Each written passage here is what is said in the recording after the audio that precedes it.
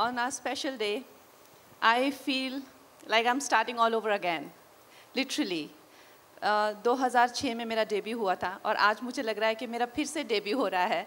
And thank you Aparna ma'am आपने इतनी अच्छी बातें कही हमारे बारे में.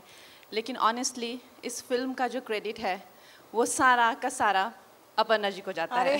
Thank you honestly for me this film is very special क्योंकि शायद मैंने अभी किसी को ये बताया नहीं है ये फ़िल्म एक बार पहले लॉन्च हो चुकी थी। आप लोग उस लॉन्च के भी हिस्सा थे। ये फ़िल्म पहले मैं और इरफान साहब कर रहे थे। बहुत सालों पहले छः सात साल पहले की बात होगी। और वहाँ पे आप सब आए थे। हमने बहुत बड़ी लॉन्च भी की थी इस फ़िल्म की। और इस फ़िल्म का नाम था डिवाइन लवर्स फिर अनफॉर्चुनेटली मेरे जो डायरेक्टर हैं, उनकी तबीयत कुछ ख़राब हुई और तीन चार साल के लिए वो इस फ़िल्म को बनाने की उन्होंने डिसीज़न कर दिया। कैन कर दिया। और फिर वो जब मेरे पास आए, बहुत सालों बाद तो सबसे पहले तो ये बहुत बड़ी एक हमारे लिए प्रॉब्लम थी कि Irfan sahab was nowhere around us and that D that D motivated us और दूसरी ये प्रॉब्लम थी कि हमें वो कंगना चाहिए थी, जो कंगना दस साल पहले होती थी।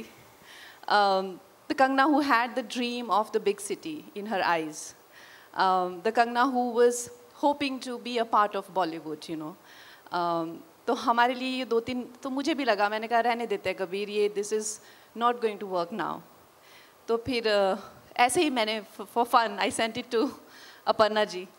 And and the way they just lapped it up they like let's do this almost the day I send उसी वीक में कहा लेट्स डू दिस तो उससे हमें बड़ी हिम्मत मिली कि अच्छा ठीक है फिर करनी चाहिए. फिर उसके बाद तो रास्ते खुल ही जाते हैं।